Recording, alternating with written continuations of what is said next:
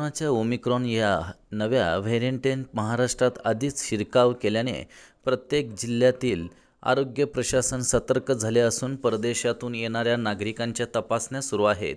या तपासणीत ऑस्ट्रेलियातून कुटुंबियांसोबत कोल्हापुरात परतलेली एक व्यक्ती कोरोना पॉझिटिव्ह आढळून आली आहे. त्यामुळे कोल्हापूरकरांची चिंता वाढली आहे. ऑस्ट्रेलियाहून परतलेले हे कुटुंब रमणमाळा परिसरात वास्तव्यास आहे. परदेशातून भारतात आल्यानंतर तीन डिसेंबरला या कुटुंबातील पाचही जणांची स्वॅब घेण्यात आले होते.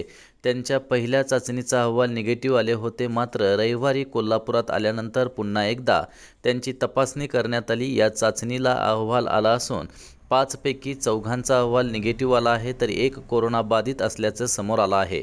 परदेशातून आलेला कोणतीही व्यक्ती कोरोना पॉझिटिव्ह आढळल्यास त्याला ओमिक्रॉनची बाधा झाली आहे का याचीही तपासणी केली जाते. त्यासाठी संबंधित रुग्णांच्या स्वॅबचे नमुने पुण्याला पाठवले जातात. त्यानुसार संशयित रुग्णाचा स्वॅब पुण्याला पाठवण्यात आला असून त्यांचा अहवाल दोन दिवसांनी अपेक्षित आहे.